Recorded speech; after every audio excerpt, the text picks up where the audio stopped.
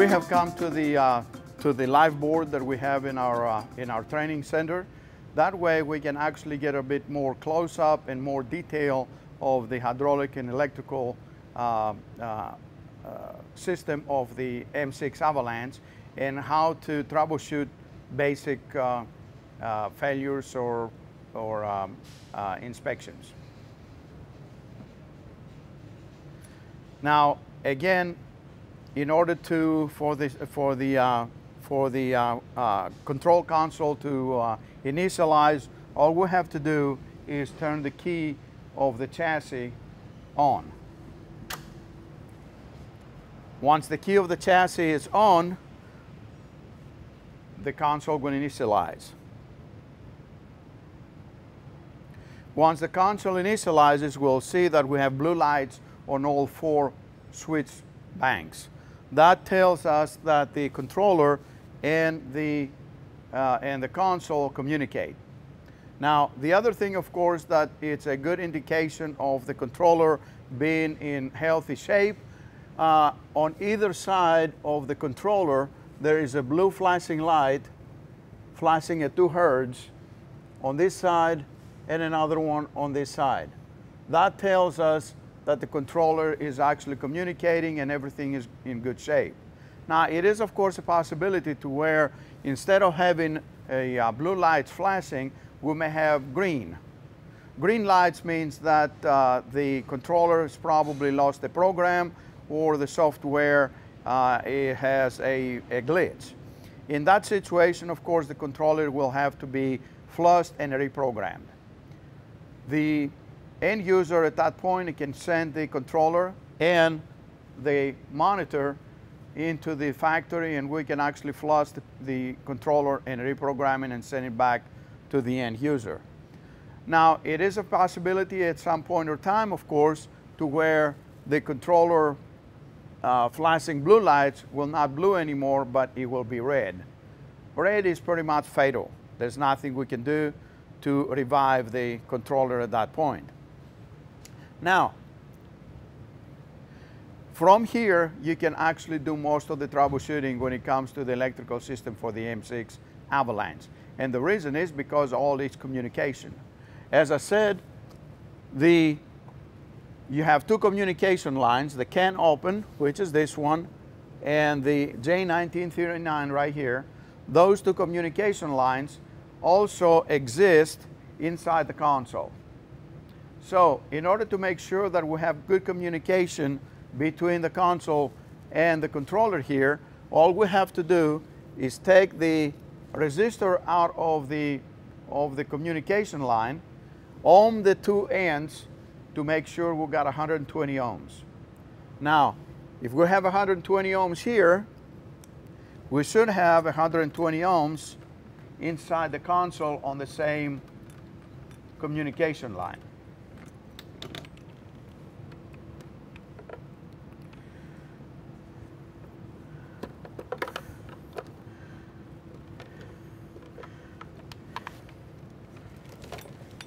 And here are the two communication lines inside the console. So that was the CANopen. We come here, the CANopen here as well. We're going to take that resistor out. We ohm the two ends and we should have 120 ohms as well. And of course the same thing will happen to the J1939 as well. We'll ohm it here, 120 ohms. We plug it back up, we ohm it here, 120 ohms. That will tell us right away that the communication line between the controller and the console is in good health. Now again, if we do not have 120 ohms, therefore there's going to be a break in communication, communication at some point between the controller and the console in those, either one of those communication lines. Now the next thing that we need to talk about is the MVEC, the Multiplex Vehicle Electrical Center. The MVEC, it has eight re relays and it has the 16 fuses that they are uh, controlling different functions of the unit. Now, here the, uh, the F3 and F5 are the two fuses that control the, the fans for the hydraulic cooler. There are 30 amp fuses. The F7, of course, is a 30 amp fuse, and that controls the water pump for the water system on the, on, of the unit. Now, the most important, of course, fuse in all this box is F9, which is a 5 amp fuse. That fuse powers up the controller itself. That fuse always needs to be 5 amps. Does not need to be 7, does not need to be 10. 5 amps is the fuse that needs to go back in there. From here, of course, as I said, we are going to do some troubleshooting to find out different problems of the unit.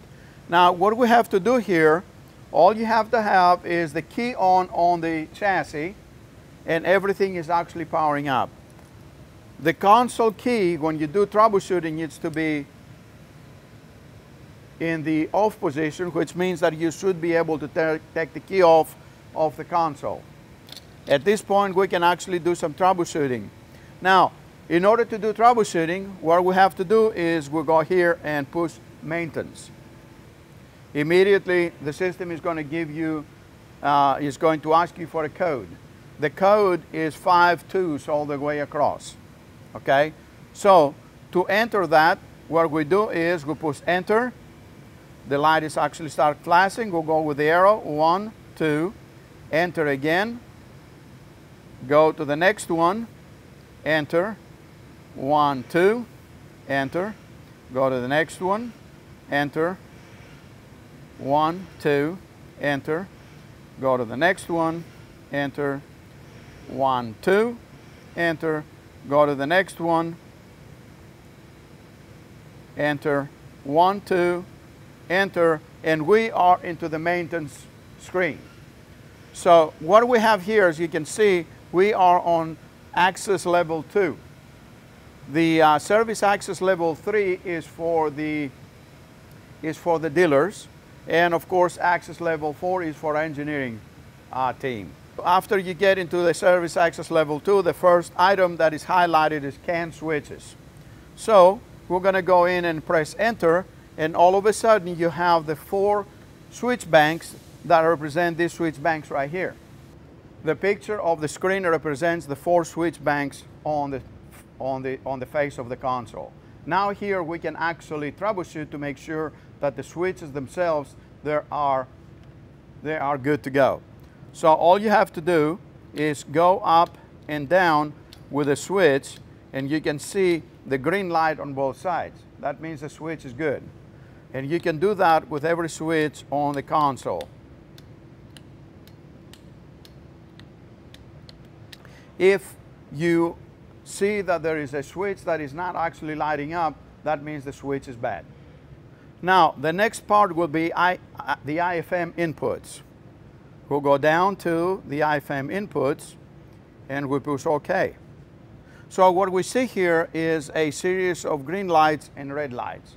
The green lights represent functions or actually switches or sensors that actually activate we see a series of green and red lights. The green lights represent functions or actually switch, switches or sensors that they're already activated. Okay, now please do pay attention to the green lights as they will become red when the, the sensor is actually deactivated. So we pay attention here where it says conveyor out. That means that the conveyor is inside the hopper, which means that we are good to operate. Now, this tells us that the conveyor is not in the hopper, so therefore we cannot operate. Now we can. This one here, it says that the, right now it tells us that the hopper is in the up position, so therefore it needs to come all the way down to turn it to green. Based to the inputs, of course, that is going to show you which functions or sensors are actually activated and which ones that are not. Now, at the same time, of course, on the side over here, we have the analog inputs, which means that it's the hydraulic oil temperature, the auxiliary engine, if there is one, what the oil pressure and the temperature is, water level, and of course the air pressure on the, on the gutter brooms, or all the brooms. Going back, we're going down to outputs. These are all the outputs that you can actually have on the M6 Avalanche. These are different functions that can be triggered from here. So what that tells us, uh, we go here to, uh, we pick a function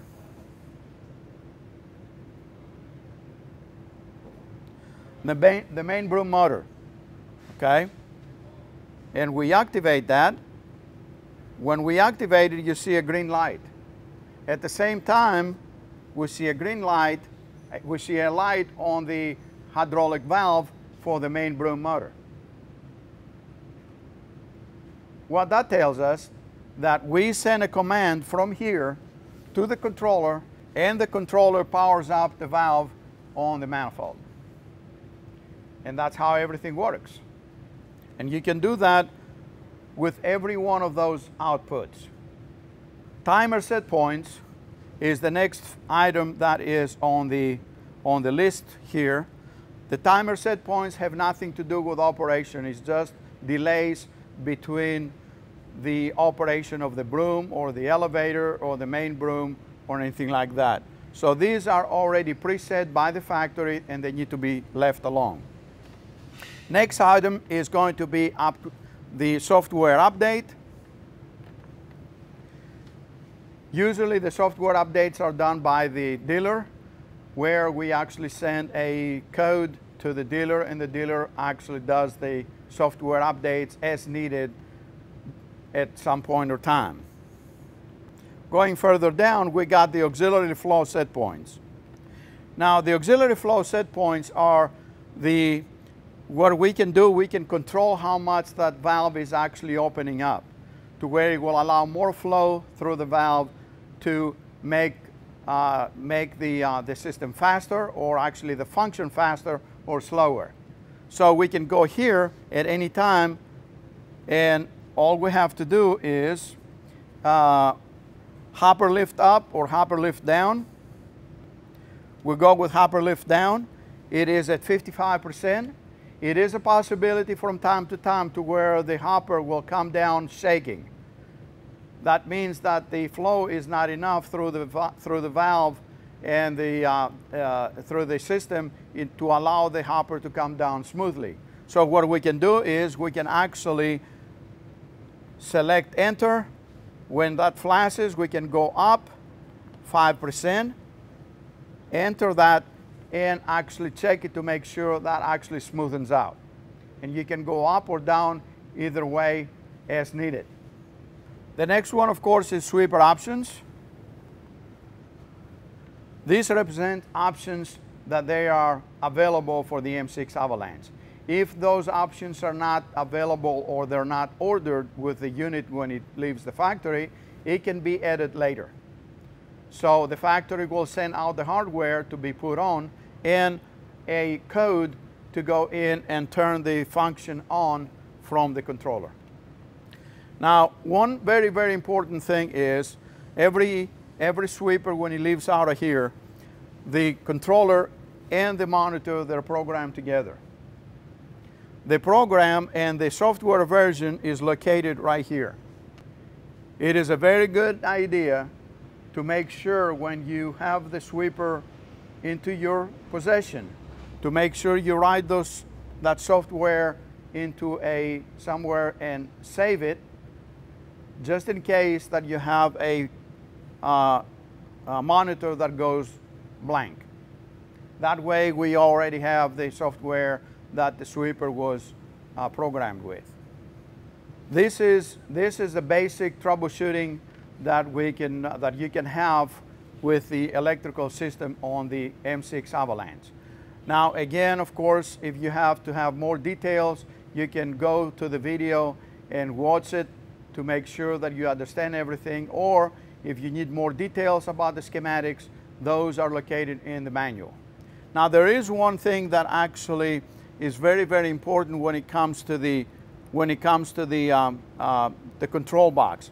From time to time, there, the, uh, depending on where the sweeper is located at, it is a possibility to where moisture can get into those plugs. If there is moisture get to the plugs, eventually can, they can short out. It is a good idea to keep some dielectric grease on either one of those plugs to keep the moisture away from the, from the pins. We moved away from the, uh, from the truck itself to the, to the uh, uh, live board that we have in the training center so we can actually pinpoint the hydraulic valves and some of the hydraulic uh, functions that they are coming along with the, uh, with the M6 Avalanche.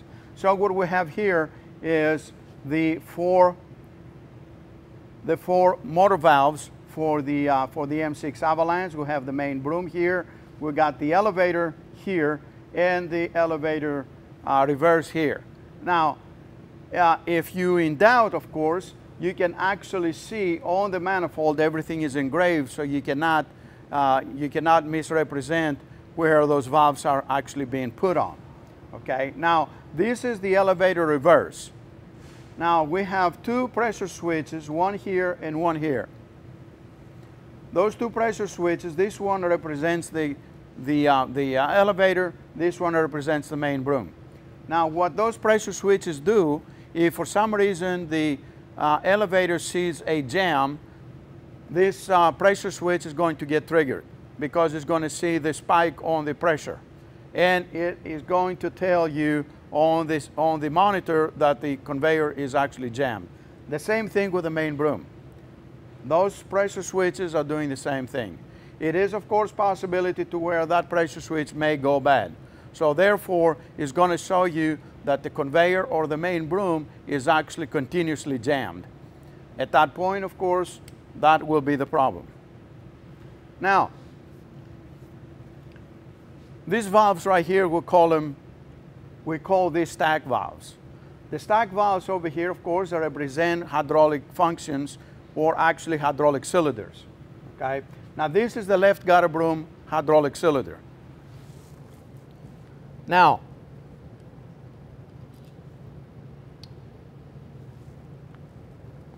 this is a stack valve. One side of the valve is actually uh, pushes, the other one pulls.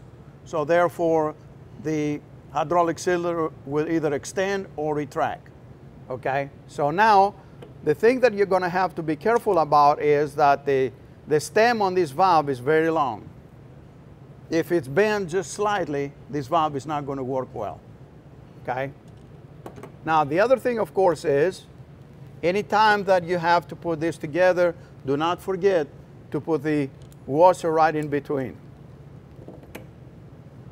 Now, anytime that you put the jam nut on the outside, you do not need to tighten up that very hard. All you need to do is snug it, okay?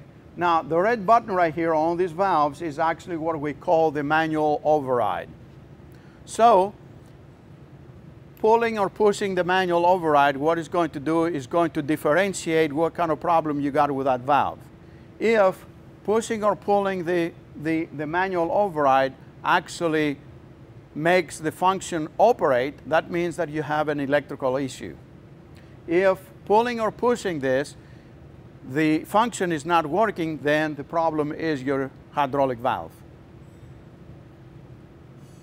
Now, another very, very important part that I need to explain to everybody is that it is a possibility from time to time to where the pressure on the main hydraulic pump, which it can be behind the, behind the auxiliary engine or behind the transmission of the chassis. It is possible that the hydraulic pump will not produce pressure. That means the high pressure. Now, right here, there is a plug number 22. That will be the plug. If you take this plug out, right underneath there, there is a orifice. if, if the pump will not pressurize, that orifice may be plugged up. You need to take the orifice out and clean it up and put it back in there, and that should take care of the problem. Now, on the right side manifolds, they, you still have the manual override on the cylinder valves over here. However, these two valves here, they represent the up and down of the scissor lift. Okay? The up and down of the scissor lift, of course, there are single valves. Now, in the middle there, there is a little pin that you can push to override, to manually override the valve. It's not the same as this, it's just a small pin that it's on the center of the valve to where you can actually manually uh, override it. Now, one more thing that I want to uh, point here is that you can see on the right side manifolds, there are relief valves. One here, one there, and one more here. Now those relief valves, they're supposed to be 200, and, 200 pounds higher than what the main relief is on the pump. So when you set your main hydraulic pump at 3,000 or 3,100 psi, those manifold relief valves that should be set at least 32 or 3,300 psi. This is actually your, this is, this is actually the uh, uh, pneumatic assembly, okay? So left GO, right GO, left gutter broom, right gutter broom, left main broom, right main broom. Now, these plugs right here, they represent what we call the filter cables, okay? The filter cable, there is the filter right in between the plug that goes into the, into the harness and the plug that goes into the regulator, okay? It is a possibility the regulator is actually going to give some crazy numbers. The regulator is always supposed to have the same number as you read into the, into the monitor inside the, inside the cab, plus or minus two pounds, okay? Now, if the regulator starts having some crazy numbers like triple zero or 6500 or things like that, that means that the filter is probably bad. Now, this is actually a little older filter cable. However, all the new sweepers, they have an orange plug here and the filter cable and the filter is actually can be replaced all by itself.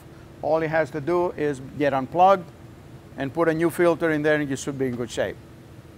Okay, now, right up here, of course, they are the three sandwich valves.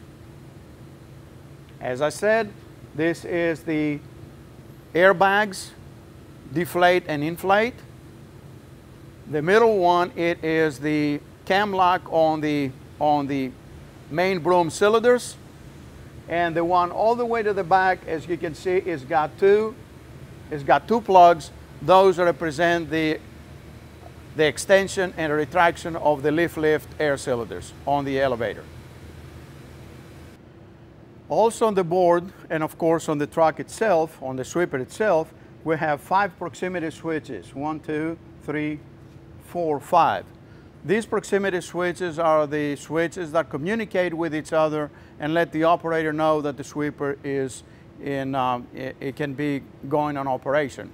Now, as you can see, those proximity switches, they have a yellow and a green light, which means that when they have a green, green and a yellow light means that those switches are activated, okay?